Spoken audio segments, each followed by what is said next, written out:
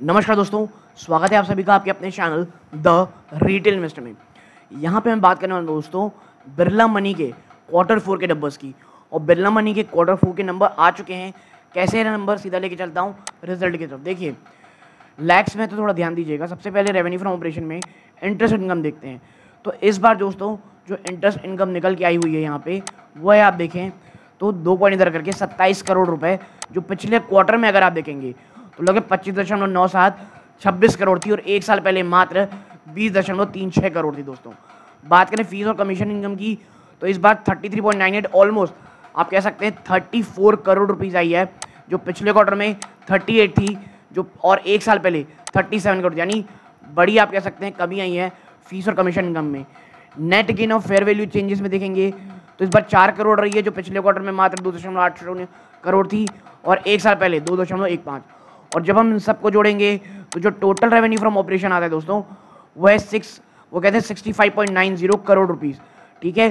पैंसठ करोड़ नब्बे लाख रुपए के आसपास, जो पिछले क्वार्टर में sixty six point eight eight crore थी, यानी यहाँ आपको गिरावट, और एक साल पहले साठ दशमलव तीन छः करोड़ थी, यानी यहाँ पर आप ऑलमोस्ट कह सकते हैं आठ से नौ परसेंट का जंप है ईयर ऑन ईयर कंपनी के ओवरऑल रेवेन्यू में। अब बात करते हैं खर्चों की तो देखिए उससे पहले अदर इनकम में नज़र डालते हैं। तो इस बार चार करोड़ की रही है, जो पिछली बार ऑलमोस्ट चार करोड़ ही थी, इस बार चार दशमलव दो आठ करोड़ रही जो और एक साल पहले, ये एक करोड़ थी। आप इन सबको जोड़ेंगे तो जो टोटल इनकम है दोस्तों वो है seventy point one nine crore, जो पिछले क्वार्टर में seventy point eight seven crore थी, और एक साल पहले sixty one point three seven crore थी। यानी ईयर ऑन ईयर आपको बढ़ोतरी देखने को मिल रही है। आप थोड़ा चर्चा करते हैं खर्चों की तो देखें आप यहाँ पे एक्सपेंसेस में जाएँगे finance cost fifteen point nine eight यानी सोलह करोड़ जो पिछले क्वार्टर में thirteen point nine zero almost fourteen crore थी और एक साल पहले मात्र ही आठ करोड़ थी। यानी फाइनेंस कॉस्ट में ईयर ऑन ईयर डबल लगभग होने का आप कह सकते हैं, यहाँ नज़रिया दिख रहा है। फ़ीस एंड कमीशन एक्सपेंसेस तेरह दशमलव तीन एक जो पिछले क्वार्टर में सोलह दशमलव एक पाँच थे, बड़ी गिरावट है। इम्पेयरमेंट एंड फाइनेंशियल इंस्ट्रूमेंट यहाँ पे बाईस लाख रुपए है।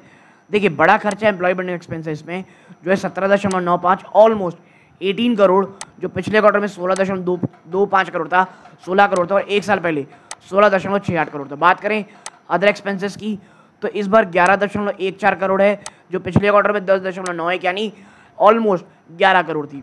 जब हम इन सबको जोड़ेंगे तो जो टोटल एक्सपेंस है दोस्तों, वो है साठ करोड़ से थोड़ा ज़्यादा, जो पिछले क्वार्टर में fifty eight point seven crore था, और एक साल पहले ये मात्र इक्यावन करोड़ था।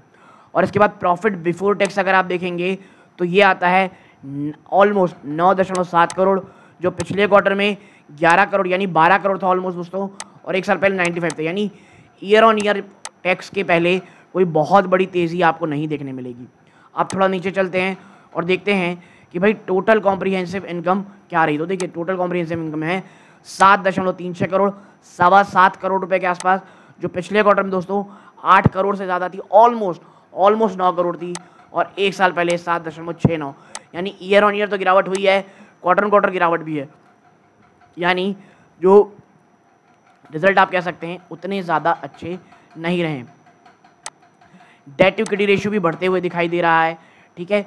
तो ये तमाम चीज़ें दोस्तों, जो स्टॉक को शायद गिरावट की ओर ले जा सकती हैं। तो ये छोटी सी एनालिस पसंद आई हो, वीडियो को लाइक करके चैनल सब्सक्राइब कीजिएगा। ये वीडियो का अंत है। जय हिंद।